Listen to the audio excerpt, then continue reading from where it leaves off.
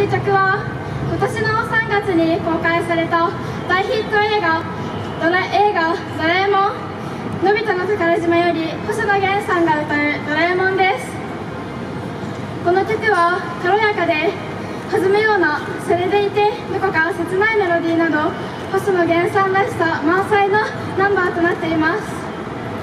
本日は自分では星野源さんに似ていると思っているけれど本当はひょっこりはんに似ている元木君が歌い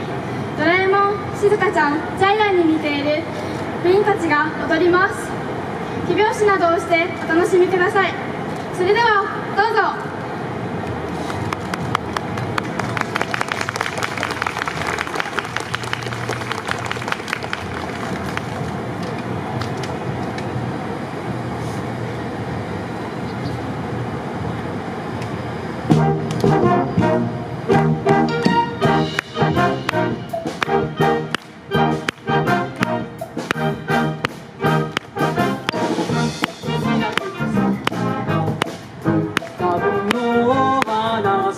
指先。と